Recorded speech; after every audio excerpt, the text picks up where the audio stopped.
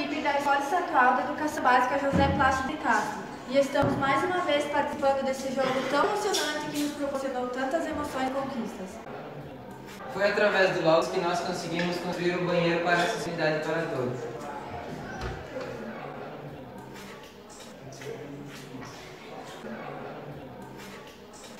Foi com o Logos também aprendemos a agir em equipe, superar os obstáculos juntos e mais uma vez iremos vencer a luta contra eles. Se ganharmos novamente o prêmio Logos, investiremos na, no palco móvel que tantos alunos precisam. Essa é a equipe José Plástico de Castro está mais uma vez unida contra a luz.